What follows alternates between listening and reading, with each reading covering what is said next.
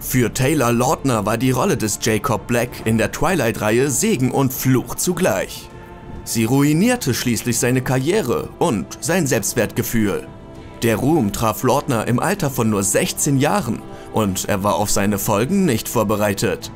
Die nervigen Fangirls des Schauspielers waren so fasziniert von seinem Körper, dass sie ihn ständig anfassen wollten. They don't even ask. They just No. reach over and just start touching me. Because they watched it on screen, they feel like it's theirs. Das war ein gewaltiger Eingriff in seine Privatsphäre. Und die Medien machten es nur noch schlimmer. Sie machten Lautner zu einem Teenie-Idol, indem sie seine Figur ausnutzten. Aber Taylor duldete dieses Verhalten, weil er erwartete, dass es sich auszahlen würde. Der Schauspieler hat diesen Fanrausch ausgelöst, indem er einfach versucht hat, seine Rolle in Twilight zu behalten.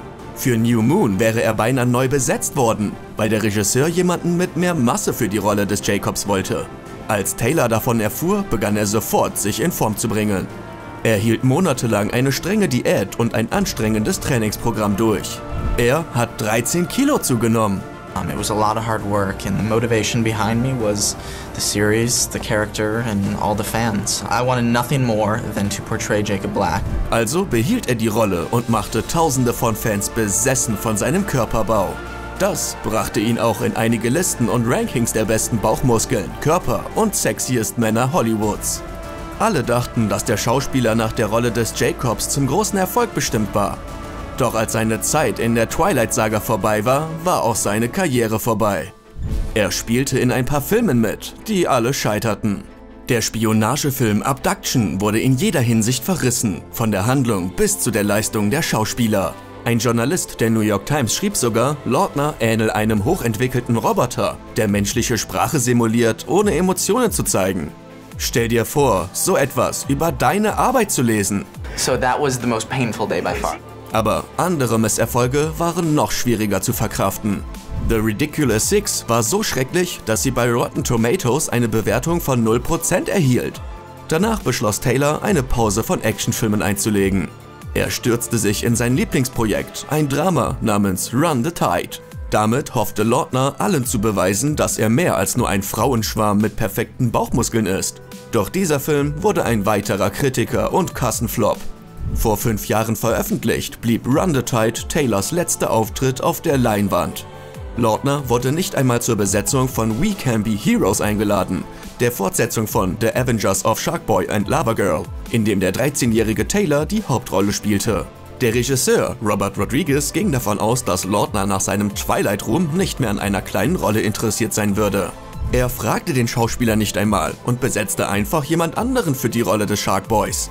So blieb Jacob bis heute der Höhepunkt von Lautners Karriere. Seit Twilight sehen Fans und Regisseure in ihm nichts anderes als seinen guten Körper. No, yeah, you definitely just need to learn to take it because, yeah, you definitely get a lot of teasing. Niemand wollte ihm eine bedeutende Rolle anbieten. Selbst wenn Tyler keine Rollenangebote erhielt, musste er seine Bauchmuskeln zur Schau stellen. Er hatte nur ein paar Szenen in dem Film Valentinstag. Dennoch musste er in einer davon wieder sein Hemd ausziehen. Als Taylor das Drehbuch sah, war er schockiert. Er hatte es satt, seinen Körper jedes Mal zu zeigen, wenn er auf der Leinwand erschien. Aber es war schwer, sich von diesem öffentlichen Image zu lösen. Es könnte jedoch einen anderen Grund geben, warum Hollywood Tyler abwies. Der Schauspieler verlangte einfach zu viel Geld.